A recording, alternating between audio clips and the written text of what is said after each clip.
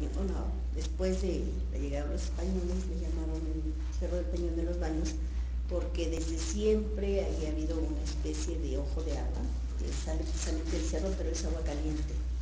Son aguas termales, eh, se le han hecho análisis eh, químicos y se dice que es una agua súper, mm, ¿qué será? Riquísima, eh, muchísimas propiedades, riquísima por las temperaturas y además muy curativas, ¿no? Por el contenido de sales minerales que tiene.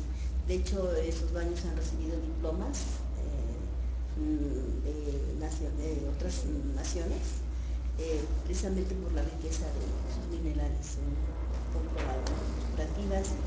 Bueno, de hecho, este, ahí estaba, digamos, una especie de temazcal, que era de Montecosomo, y él acudía mucho a bañarse. A la llegada de Maximiliano se empieza toda esta destrucción ya por el tiempo, y bueno, él este, trata de rescatar y entonces hace, reconstruye ese digamos, temazcal, pero este, más bien ya con una arquitectura europea. Pero ahí continúa el lugar. Eh, te decía que estas aguas brotan del interior y también yo supongo que ahí se celebraba el Fuego Nuevo. De hecho, me parece que por ahí de 1962 o un poquito antes hubo un arqueólogo que se llamaba, no sé, no me acuerdo si era arqueólogo o antropólogo, Luis eh, Abeleira Arroyo hizo estudios en ese cerro y encontró algunos vestigios con pinturas muy bien conservadas para la época, eh, pinturas muy muy parecidas a, esa piedra que está aquí en el, Museo de Antropología que le llaman la piedra de Tizot. Este, muy parecidas las pinturas, pero bueno, se perdieron también por vandalismo. De hecho también había una pequeña estela dedicada a Tezcatlipoca y también este, por vandalismo se perdió. Pero bueno, hablando de lo que es el fuego nuevo, eh, se tienen eh, así como que equívocos, ¿no? A veces incluso entre gente de la tradición hay así como que ciertas molestias de decir, bueno, es que el fuego nuevo no se debe celebrar cada año, ¿no? El fuego nuevo debe ser cada 52 años, porque así, así es. Y no están las fuentes donde se dice, bueno, había una celebración grande, sí, cada 52 años, pero el, fuego se encendía cada año en determinada fecha, cuando están ahí las Pléyades, ¿no? que es alrededor del 19 de noviembre. Entonces, como que era un proceso, ¿no? De pequeñas ceremonias anuales hasta completar esos 52 años. Y hasta donde yo tengo entendido, bueno, el, motivo de esta celebración era como una renovación de la sociedad una unificación, como que vamos a renovar el espíritu y, algo así como que desechar lo viejo, ¿no? como que borrón y cuenta nueva, así. Olvídate de, no sé si yo me imagino, ¿no? yo quisiera suponer a lo mejor es todo aquello que traes cargando. Eh, en esta ceremonia se quema todo lo que tienes viejo, ollas, todo, todo va para afuera y renuevas tu casa para mí esto es también como una renovación de tu espíritu, ¿no? de tu persona.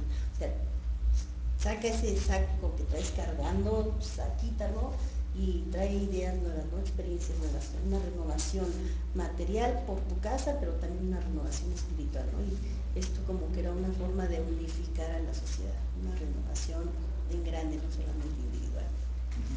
muchas gracias, muy interesante. Y por ejemplo, tú que, ¿Tienes presente alguna experiencia con el fuego, así que haya sido significativa en, tu proceso de vida? Pues mira, eh, para mí sí, eh, ah, se hace una ceremonia también, me parece que en julio, me parece que también le llaman ceremonia del fuego, no del fuego nuevo, pero sí del fuego. Yo estuve en una ceremonia con el maestro Tlacaele y también fue un ayuno de cuatro días no puedes tomar nada, ni siquiera agua. Y son cuatro días de estar danzando, danzando, danzando y llega un tiempo en que sientes que ya no vas a Apenas se levantan los pies, no comer, ni, ni siquiera tomar una gota de agua es muy, muy durísimo. Y entonces danzas todo el día y te vas a dormir y el otro día volverte a levantar y a seguir danzando. Entonces llega un momento en que ya no sabes ni en qué planeta vives, este, y está el fuego ahí en medio, se corta un árbol, se le pide permiso, se pone el árbol. Y bueno, después de todo esto entras al temazcal, a un lugar así bien caliente también, con piedras bien calientes y sigues ahí en el fuego. Pero al finalizar toda esta ceremonia, realmente como que sí cambia tu vida. O sea, porque las sensaciones, eh, eh, las primeras sensaciones que tienes es como que, que pierdes algo, ¿no? O sea, físicamente sí te desintoxicas, Sí. pero a medida que avanzas en la ceremonia, tiras esas emociones que traes cargando, o sea, algo se te va, te renueva, realmente hay una renovación. Sí, e- eso, eso también es importante. Por ejemplo, esta celebración que comentas, vamos a hacer mención, pues, hace algunos, eh, unas semanas falleció este eh, maestro Tlacaele, Francisco, Sí, se sí, invitó.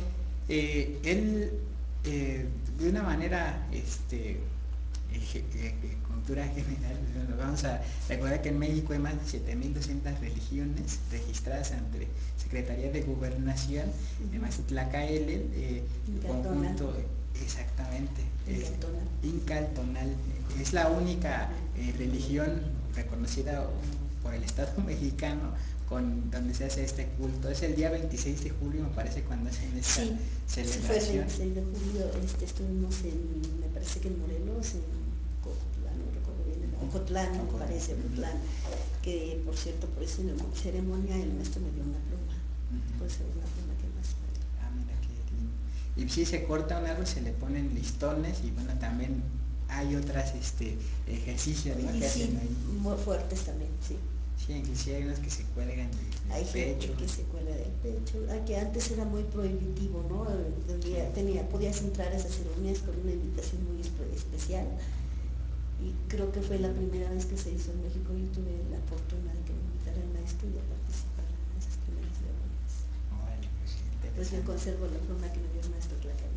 Ah, mira, es un tesoro, ¿no? Sí, estoy hablando más aproximadamente por ahí de 1992 o 90, no recuerdo. Ujú. Sí, igual pueden consultar si googlean incaltonal, este, ahí viene una descripción de cuáles son las prácticas, este, y son, son formas, ¿no? De que cada gente tiene, eh, o de cada grupo, este, articula o consensa distintas prácticas. Eh, aquí el espíritu tolteca es de que sea por experiencia propia, ¿no? Puedes hacer de la forma que sea, lo importante es de que se haga este, pues, un encendido con respeto, este, tampoco con la intención de hacer una hoguera y ya después se haga un incendio forestal, algo así, o que quemes tu casa, ¿no? O sea, procurando este, eh, el espacio acorde eh, para justamente, esa es la intención de- del fuego nuevo, ¿no? Como ati- atinadamente nos compartes, ¿no? Es la, la intención era esta renovación, el aventar ahí este, todos esos miedos, esas inseguridades, este, también las este, ofrendas, ¿no? De, lo bueno y de lo malo que pasó, finalmente son experiencias, pues, trascenderlas y, regresarlas este, a, la tierra, ¿no? También importante este, eh, la, representación y lo que significa ya cuando se avienta este material al fuego, se transforma, quedan cenizas. Eh, yo creo que también platicaremos en otra misión al respecto, el- las cenizas este, y la función importante que tenía tanto en tratamientos médicos Sí. como este, en alimentación. Sí, ¿no? porque y y eso que dices bien, ¿no? Porque simbólicamente tiras todo aquello que traes y tú sientes esa renovación, ¿no? Simbólicamente ya tiraste todo, ya te purificaste y bueno, es así como que borrón y cuenta nueva, vamos, nuevas experiencias, lo que sigue va, no, no te tumba, las experiencias no te tienen ahí aplacado, retenido, no.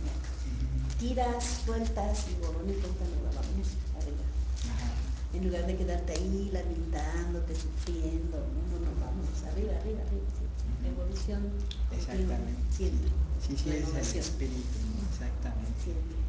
Sí, y este, de hecho también bueno, hay otras representaciones, ¿no? Que decían, ¿y cómo puedo celebrar mi, mi fuego nuevo? ¿Cómo lo puedo hacer? Este, que tengo que ponerme plumas o danzar No. desnudo, o, o que ponerme ceniza en el cuerpo, pintarme, lo que sea. Pues no, eso no es este, no es necesario, ¿no? Eh, eh, lo importante es la, es la intención, ¿no? Lo puedes hacer con tu pijama, este, eh, como quieras, como te nazca, Lo ¿no? demás es simbolismo, como hemos Ujú. dicho, ¿no? Lo importante es lo que tú sientes, la intención y lo que tú sientes, lo que para ti vale. Ajá, exactamente. ¿no? Pues imagínense si se hacen un fuego en, en, este, en un paraje recóndito este, y, y están desnudos, pues que resfriado, ¿no? Se van a pegar. Sin embargo, este, hacerlo con esa, este, con ese espíritu de respeto, sabiendo lo que significa y a lo que vas, en comunión con muchas gentes y sabiendo que no solamente estás en ese lugar, sino que puede ser desde el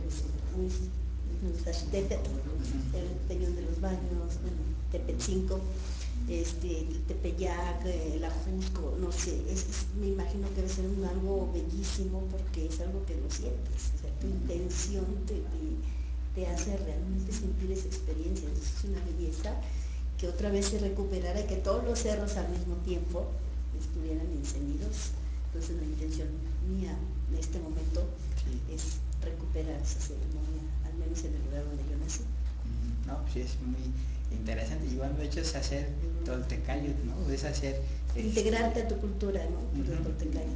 Exacto, sí, eh, es muy interesante pues, también para que como este espíritu, ¿no? Con esta actitud este, que nos comparte Rosa, pues también este, ya estamos listos por elevar este, cuáles son los parámetros, ¿no? Bueno, que, que la vista de los ancestros, ellos este, hacían hacia esta, eh, esta conmemoración, Algunos, este, algunas frases conmemorativas en alusión a cómo encender el fuego y saludar a los rumbos registrados en las fuentes.